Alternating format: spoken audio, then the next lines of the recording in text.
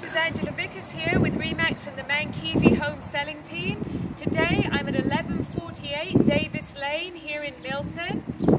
This is a beautiful semi-detached townhouse, three bedrooms, two and a half baths, really big, big yard, great for entertaining. And if you're looking for a move-in ready house, this is the one for you. Give me a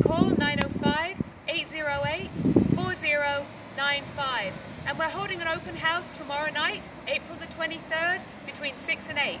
I'll see you then.